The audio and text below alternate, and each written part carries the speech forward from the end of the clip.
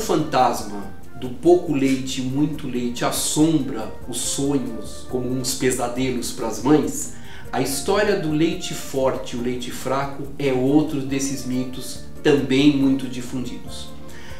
É, todo mundo gosta de ver criança gorda ao invés de ver criança saudável. O que, que acontece?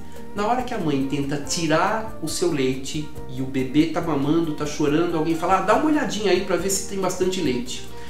O leite não é igual do começo ao final da mamada.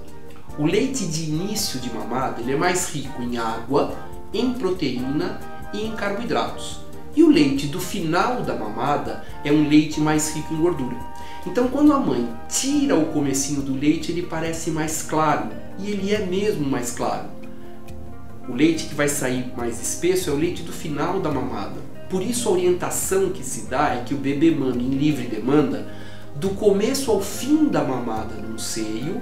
A mãe pode colocar esse bebê para rotar e depois ela oferece sempre o segundo seio. Quem vai determinar se um seio ou dois são o suficiente é o bebê, não somos nós que vamos dizer dê só um seio por mamada. Então, por conta de o primeiro leite sair clarinho e do segundo leite sair mais espesso, mas ele é mais difícil de sair quando a mãe tenta tirar, aparece essa história de leite fraco e leite forte.